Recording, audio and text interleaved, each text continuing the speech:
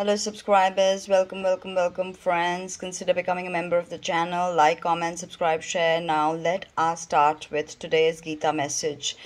So, during Kartik Maas, studying the Bhagavad Gita is honestly a very, very good karma. And um, so, that's why I decided to pick the Gita Tarot. It's visual and um, also pick from it.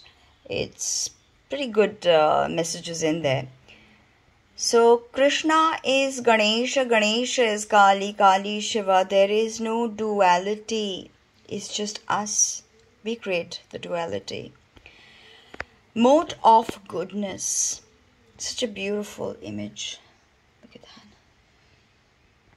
that.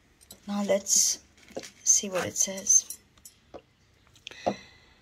यतग्रे विषमिव परिणामे मृत्योपमम् तत्सुखम् सत्वीक प्रोक्त आत्मबुद्धि प्रसादजम्। Happiness in the mode of goodness may in the beginning seem like poison but at the end it is just like nectar, for it is born out of the peace of self realization. So, uh, if you are being good, you may not always receive happiness. You may feel like, you know, I'm so good, why uh, do bad things happen to me?